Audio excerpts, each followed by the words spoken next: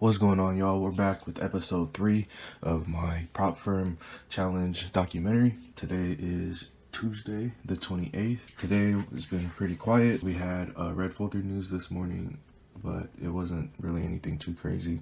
So let's head over to the charts and see what was going on. All right, so here's the midnight open. Here's the high between midnight and the 9:30 New York Stock Exchange open, and here's the low. As you can see, London session trended down. So yeah, nothing really going on too much in New York. As we can see, price has been moving pretty sideways. Nothing major. There was this big move here, going down and sweeping sell side liquidity. Let's go take a look at NQ. Here's the midnight open. Here's the high between the midnight open and the 9:30 New York Stock Exchange open, and here's the low.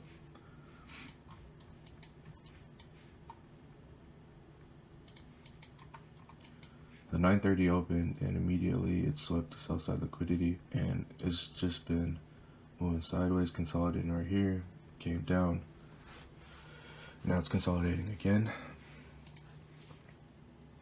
Here I noticed that we have SMT with, with Dow, with uh, ES and NQ. So right now I'm just waiting to see if there's valid move to the upside for E-mini S&P or NQ. I'm looking for moves to the upside for both ES and NQ because there's SMT with Dow as well as prices already swept the sell side liquidity for both tickers. And all we're looking for is just big move to the upside with displacement and then trying to get in on that fair value gap. All right, so price is starting to make its move. And now that I look at it, I'm seeing that that lows are swept right here with this big move and then it came up gave us this swing high came down gave us a swing low gave us a higher high and then it gave us a higher low it didn't go below this. Now it's giving us this strong displacement and a fair value gap. I think I'm gonna place a trade in here at this one minute fair value gap. And we'll be looking to fill the imbalance all the way up to here. So that is going to be my plan for now. Alright, so we just put our order in. I'm to mark up our 3 to 1 level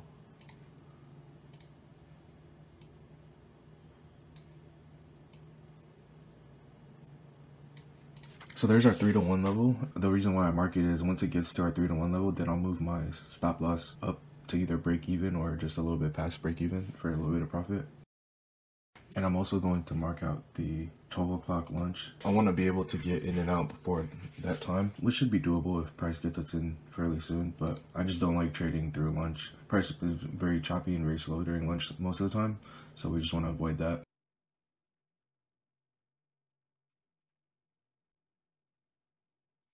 Alright, we should be getting in soon.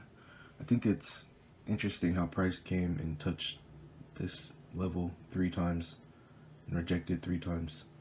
Hopefully we can get in soon.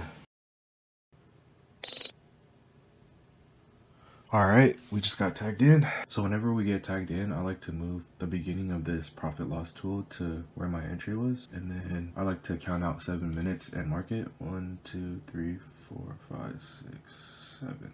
I marked out seven minutes right there.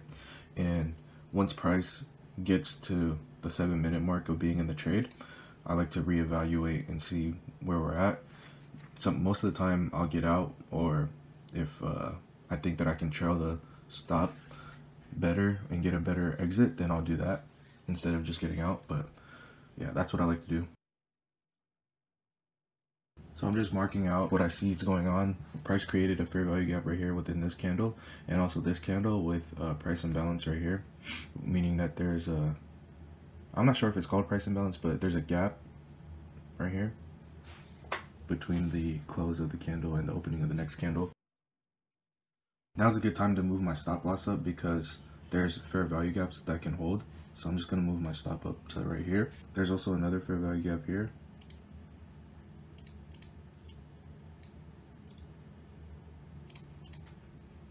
So there's three layers of fair value gaps that price can dip back into to create more buy pressure, meaning that if price comes down here, it should be able to bounce off like you see what it did right there? It bounced off and made and wicked. So it should be able to move higher. And we have three layers of those so we're not really worried about getting stopped out. Unless price just blows through then then we'll be worried.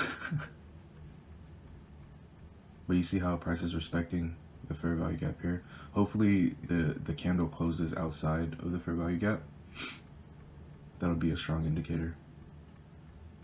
Yeah so I respected it.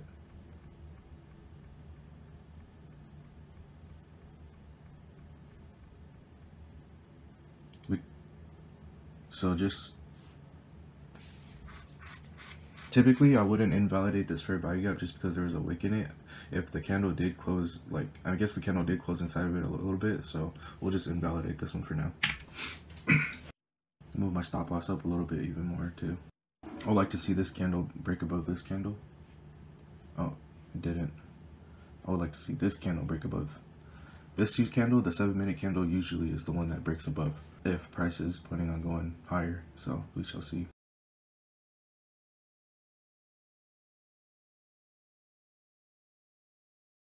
price is going towards our three to one level now so we'll move this up. If price can close above that'd be great but it doesn't look like it's going to. Move this back down.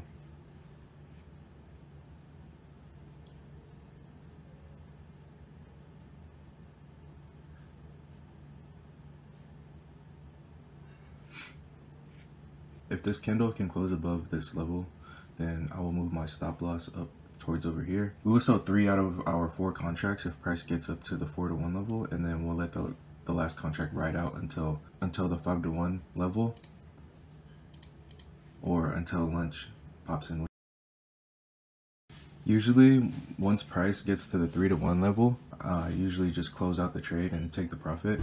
But today, I'm going to try something different. I am going to trust my analysis a little bit better and let price try to fill in this imbalance. Hopefully we can get there before lunch starts. If not, if price is still ranging around this area by the time lunch comes, then I'll just close out the trade. But I want to see price be able to move into this territory. And I'm only going to take partials if it gets to the 4 to 1 area. I'm not going to take partials if it gets to the 3 to 1 area. Only on the 4 to 1 area. So that um, if I take the partials here at the 4 to 1 and then let, let it ride out to the 5 to 1, it'll be like a 4.5 R trade. Because if I take if I take profits here and it doesn't get to up here then it'll be less than a 3 R trade. But we'll see what happens.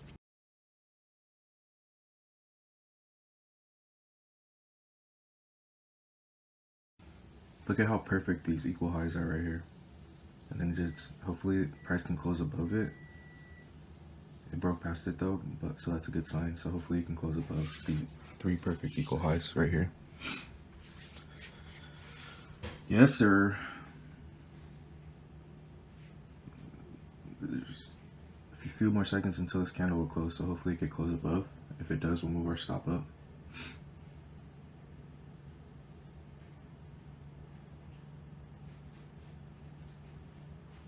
Uh, it didn't. It didn't do it, but let's see if this candle can go even higher. If it does, it'll leave a fair value gap, and then we can put our sell stop under the fair value gap. I missed the the exit right here, but if price goes back up there again, then I'm ready for the exit. I'm gonna sell sell off three of my contracts.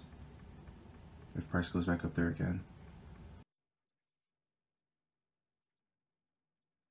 Notice how price went into this fair value gap and rejected. If the fair value gap can close, or if price can close above the fair value gap, then I'll be happy.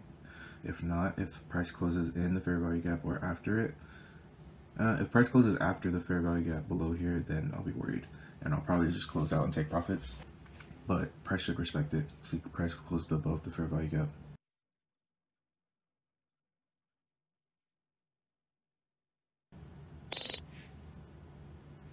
Alright, I just closed out my trade. I just made a, a last minute decision that I was just going to close it out at a 4 to 1 instead of letting price move higher. I know I went against what I was saying.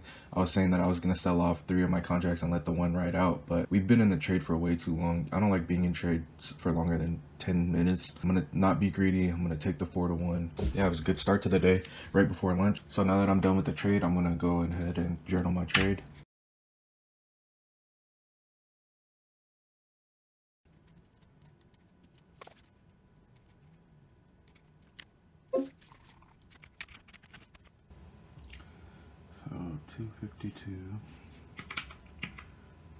290.114 uh, plus. How much do we make today? 2027.68 equals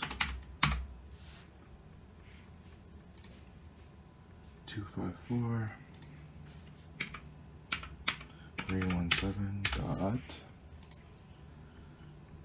82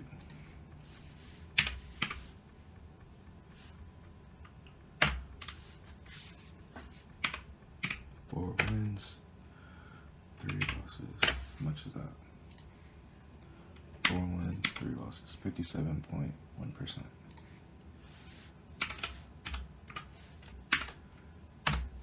Alright y'all, so I just finished logging in my trade to my trade journal and um, one thing that I didn't mention earlier was I was using a breaker entry. So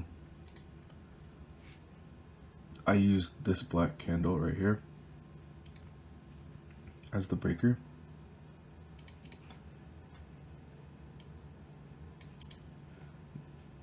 And as you can see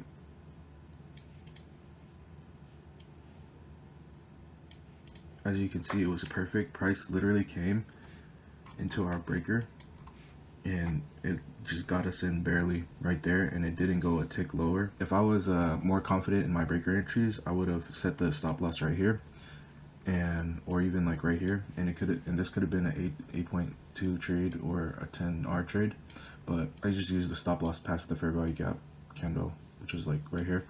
And we ended up getting a 4 to 1 but yeah, so that was this was like kind of my first breaker entry. It, it, was in the fair value gap, so I don't know if that counts as a breaker or not. But I, I wanted to use this to get like a like a better entry instead of putting my entry right here, which would have also worked, but this worked. And then I also could have put my stop loss up here, but like I said, I didn't. So yeah, I just wanted to point that out. As you can see, price is starting to reverse now. It went up a little bit higher, but our were five to one didn't get up here. So I'm glad that I took my profits where I did. I was able to get like a 4.1 trade right there. And we're gonna go have some breakfast and then we'll be back later uh, after lunch